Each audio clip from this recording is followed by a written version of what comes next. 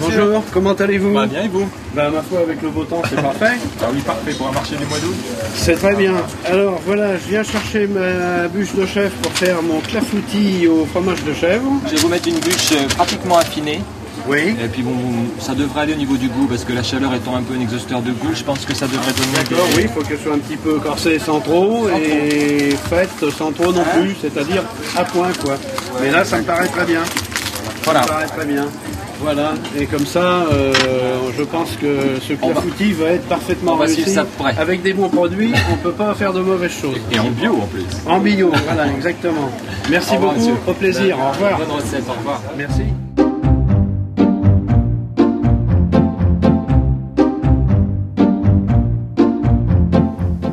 Aujourd'hui, je vais vous présenter une recette qui est un peu originale puisqu'il s'agit d'un fromage de chèvre en clafoutis.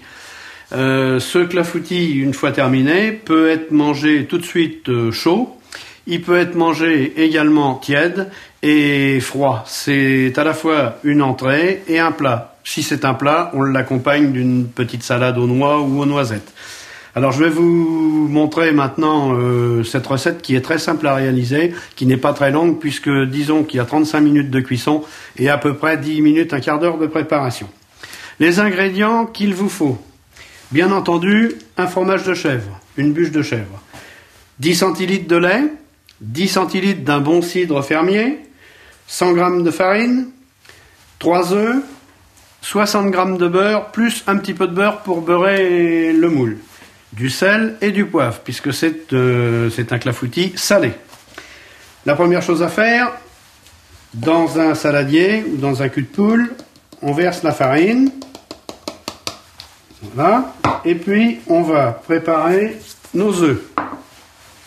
Avec un fouet, on va mélanger tout de suite nos œufs, incorporer nos œufs à la farine. On obtient une pâte assez épaisse.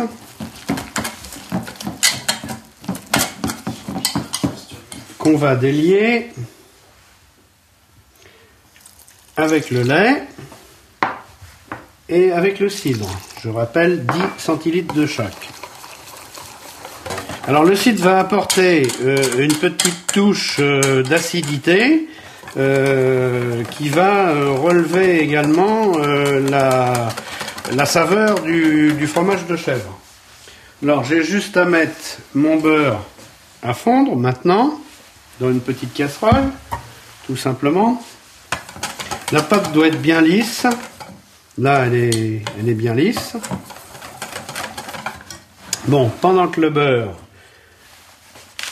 est en train de fondre, je vais détailler mon fromage de chèvre. Alors bon, j'enlève les deux extrémités pour que ça fasse pas trop de croûte. Alors pour découper le, le fromage euh, en tranches d'un demi centimètre d'épaisseur, je prends toujours un couteau assez fin parce que plus le couteau est large, plus il colle sur le fromage. Je vais, pendant ce temps-là que ça finit de fondre, je vais beurrer mon moule. Alors ça peut être un moule à manquer, ça peut être un plat, ça peut être bon euh, euh, ce que vous voulez, hein, du moment que ça fasse à peu près euh, 20 cm par 4 à 5 cm de haut. Le beurrer pour éviter que ça colle. L'appareil à clafoutis, l'appareil à clafoutis c'est la pâte en question, euh, ayant tendance autrement à euh, coller légèrement au plat. Voilà, bien beurré, comme ça il n'y a pas de problème. Le beurre est fondu, il n'a pas bouilli. Je l'incorpore tout de suite à mon appareil à clafoutis.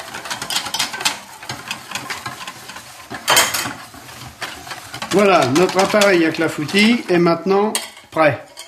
Il est euh, tout à fait lié. Je vais donc en verser la moitié environ dans mon plat. Je dispose mon fromage le mieux réparti possible, comme ça quand je vais partager mon clafoutis, les convives euh, auront tous euh, la même part de, de fromage. Autrement, si tout le fromage est d'un côté, ça va faire des jaloux. Voilà. Et je verse par-dessus le reste de mon appareil à clafoutis. Et on met immédiatement au four qui est préchauffé à 180 degrés environ, c'est-à-dire thermostat 6. On enfourne pour 35 minutes. Nos 35 minutes sont maintenant passées. On va jeter un œil sur notre four pour voir comment ça se présente.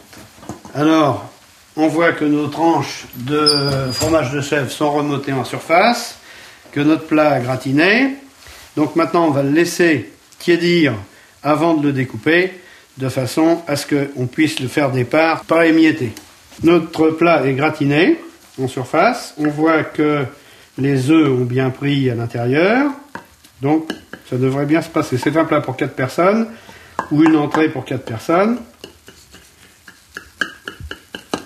On va attendre maintenant quelques minutes pour démouler, de façon à laisser euh, bien tiédir pour que la pâte euh, ne, se défasse pas lorsqu'on va passer notre pelle à tarte pour le servir dans les assiettes.